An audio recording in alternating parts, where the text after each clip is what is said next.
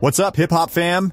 Eminem's iconic track, The Real Slim Shady, has just hit an incredible milestone surpassing 1 billion views on YouTube. Originally released as the lead single from his 2000 album, The Marshall Mathers LP, this track was a game changer in the world of hip hop. Directed by Philip G. Atwell and Dr. Dre, the music video became just as legendary as the song itself, with its hilarious and provocative imagery, the video takes us through various wild scenarios, starting with Em in a mental health facility, and later showing him donning a superhero costume, flipping onion rings, and rapping alongside a group of lookalikes.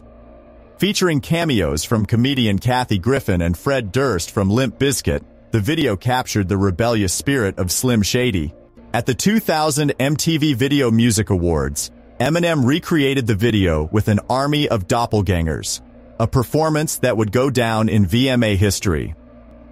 The Real Slim Shady not only became a massive hit, peaking at number 4 on the Billboard Hot 100, but it also scooped up awards, including Best Rap Solo Performance at the 2001 Grammys.